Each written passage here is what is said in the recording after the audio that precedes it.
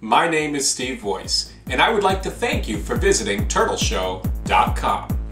This is Tex, the Texas box turtle. You'll notice he has bright yellow spots on the front of his legs. Tex helps our audience understand what makes a box turtle a box turtle.